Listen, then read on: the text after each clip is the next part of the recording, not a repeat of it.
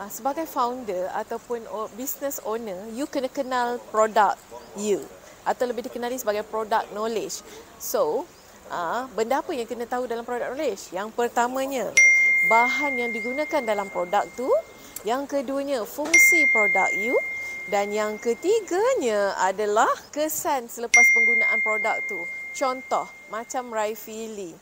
Ah, produk Raifili. Ah, diperbuat daripada kain batik. Ah, batik, material batik, cotton batik yang sangat selesa, serap air, tak luntur walaupun kena klorok.